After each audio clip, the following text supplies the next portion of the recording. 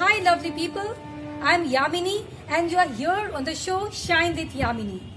Today, in this episode, I'm going to talk about the importance of communication in our lives.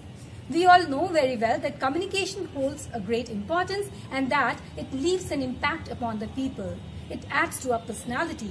But above all this, communication is also important in creating bonds and it really, really matters in the way you are communicating. Today in this episode I am going to talk about some tips which will help you in starting with conversations while you're interacting with new people or while you're in a gathering where you don't know how to start with. And it's really really discourteous to peek into your cell phones and keep yourselves engaged and segregated from the crowd. It's really not considered to be good. So people, stay tuned till the end of this video to know those tips how to start your conversation as icebreakers.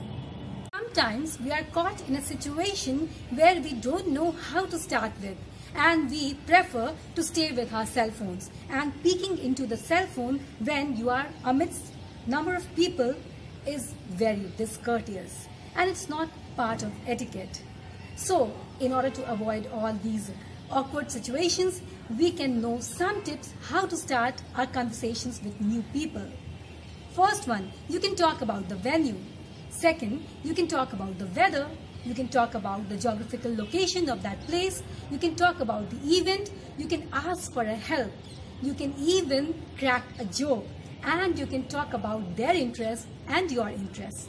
So these are few things with which you can start your communication and you can converse with new people without any hesitation and you can make new friends.